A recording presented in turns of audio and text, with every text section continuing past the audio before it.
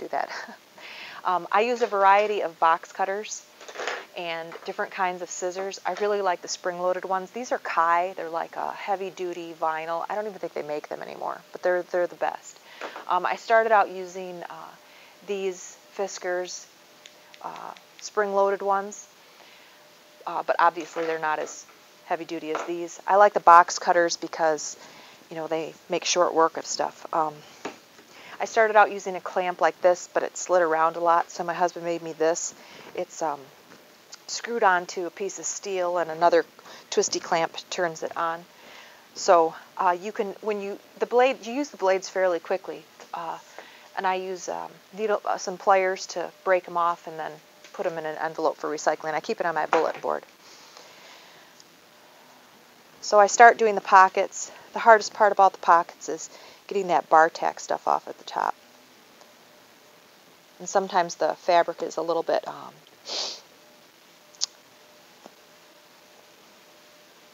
worn here, so you have to be careful.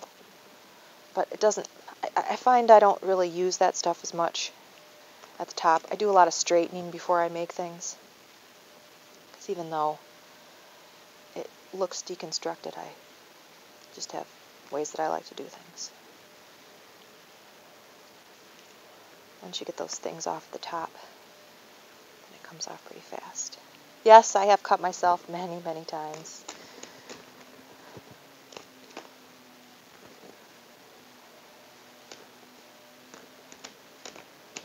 Uh, I sell pockets and belt loops and waistbands and I have a bin of seams. Uh, I cut the zippers off. Uh, I do sometimes use them for like a back neck zipper or something if they're in good condition.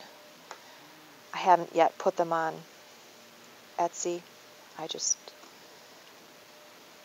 listing on Etsy is not my favorite part of creating. It's a necessary part. I struggle with photography and I think it's kind of, you know, pretty usual stuff. The creating is the happy place.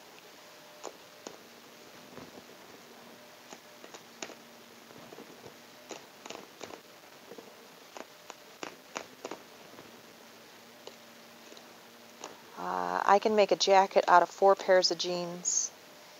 I used leftovers from that for patchwork.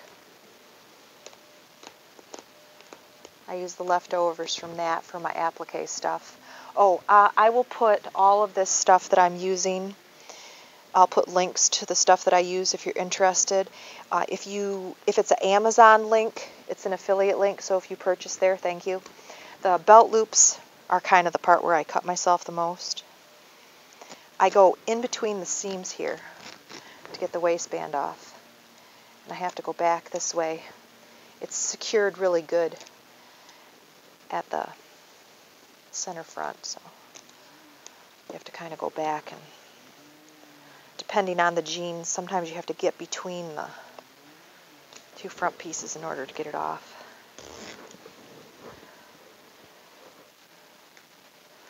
This has got some extra stitching. I love my clamp. Belt loops first.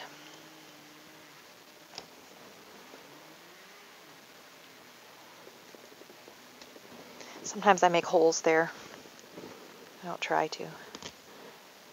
It's not really a super usable spot either. Some of these tags are nice and leather and heavy. This one's not too great. I try not to rip these too, but sometimes they're worn and they can't really be saved. I've got bins of those. I've seen um, stuff on Pinterest. I'll put a link to my boards. Really awesome ways that people use all this stuff. Jewelry and really creative. I love being inspired by all the wonderful things other people do.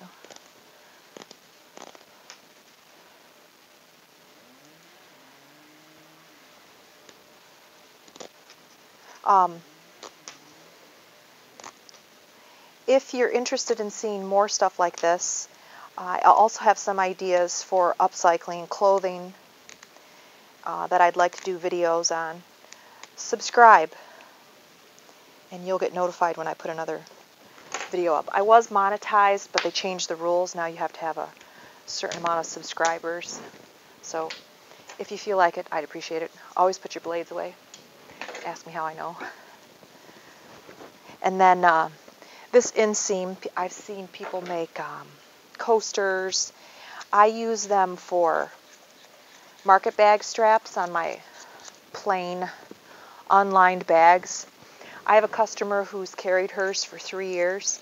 It holds up really awesome. I, I, it was really nice to see her still using it. She didn't expect to, you know, it wasn't a place where I expected to see her. So it was cool that she was carrying it, and it was really nice to see that the um, strap had held up and the whole entire bag, you know. It was nice and frayed, and she loved it and washed it a ton of times. And that's one of the things about, you know, it's not going to shrink. One of the hard things about doing things with denim is often there's a stretched out portions, and that can cause challenges when you're trying to put it together because one side will be um, more flexible and you have to make it fit in the pattern. I use patterns. I, I, I put things together kind of freely, but I use patterns because I like to be able to repeat the size. So everything I make is one of a kind because I'm using different denim and it has a different look and I'm not copying the patterns or the placement of the pocket shadows or anything like that. But I use patterns so that I can repeat the size. Uh, I cut this back seam off. I haven't found a use for this. Someday I have to put a bunch of this up on Etsy so people who make jewelry, I mean, they put the wire in this and then they make one of those little bracelets. I cut the zippers off. Sometimes I reuse them. Uh, but most mostly I have some that need to be. I have to figure out a way to use them. I do donate things to scrap places, and they haven't said no. So I use the hems as hems in some of what I'm doing. So this is the piece that I have. This is the piece that I leave. Sometimes I cut this piece off because um, when you sew a bunch of them together, it makes a lot of texture. But this is like the biggest piece I can get out of a pair of jeans. And so that's where I start. Thanks. Subscribe. Any questions, let me know. I'll put some links at the bottom so you can see what I'm up to. Thanks.